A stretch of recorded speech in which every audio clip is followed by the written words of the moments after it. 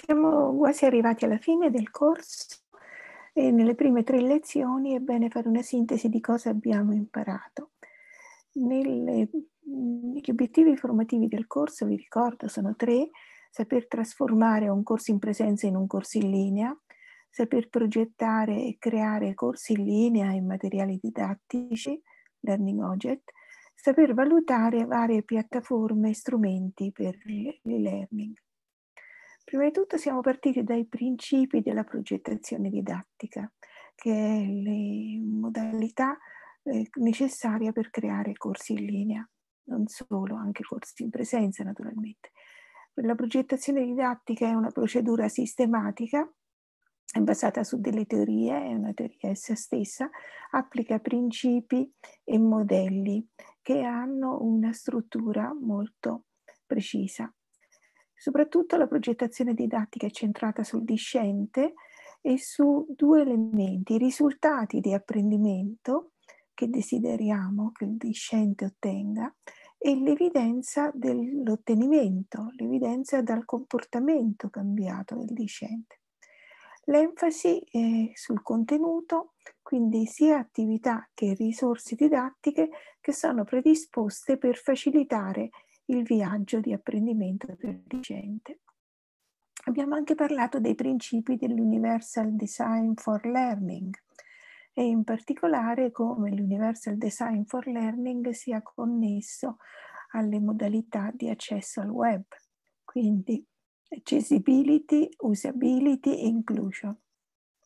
I principi sono la flessibilità nei contenuti e negli esercizi, flessibilità dovuta a diversi stili di apprendimento, il coinvolgimento dell'utente, quindi interazione e motivazione, predisporre delle attività e consentire delle presentazioni al discente. Ecco, come questi principi si eh, focalizzano sull'interazione, quali modelli e teorie per la didattica attiva.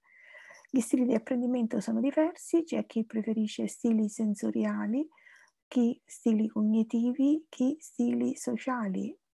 Rispetto al sociale abbiamo anche visto come le comunità di apprendimento in linea hanno da considerare tre aspetti, eh, non solo il docente, ma sicuramente la, l'attore principale è il discente, una presenza cognitiva e anche è importante l'apprendimento sociale, quindi le comunità, le loro interazioni e relazioni.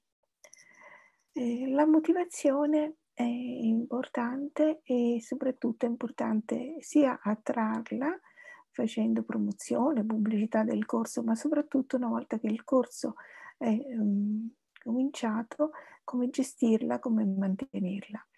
Ci siamo rifatti al modello ARCES di Keller in cui i quattro elementi che dobbiamo considerare sono l'attenzione, quindi questo soprattutto con l'interazione, mantenere viva l'attenzione, la rilevanza, dobbiamo offrire al discente qualcosa che lui capisce che lo aiuta, quello che vuole fare o deve fare.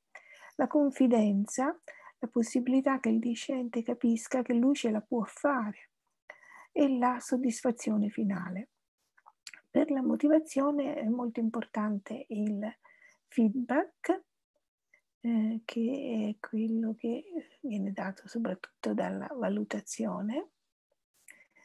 E abbiamo visto vari strumenti che sono disponibili eh, online, eh, quindi chat, poll, forum, ma anche eh, autoriflessione, osservazione del discente, learning analytics, quiz, mappe concettuali. Sono molti quindi gli strumenti che abbiamo cominciato a valutare che le tecnologie danno per migliorare il feedback. Naturalmente c'è una valutazione sommativa più tradizionale con strumenti che spesso sono offline come esami e colloqui, ma anche possono essere online con compiti domande aperte, soluzioni dei problemi, presentazione di progetti, oltre che i test e i quiz. Continueremo con gli strumenti la prossima settimana. Il lavoro di gruppo da, in questa fase è diviso in due parti. La prima parte vi ho chiesto di mm, inserire nelle colonne fino a cinque strumenti software che conoscete. La seconda parte sarà in, di gruppo e la faremo durante la prossima lezione. Buon setti- fine settimana a tutti.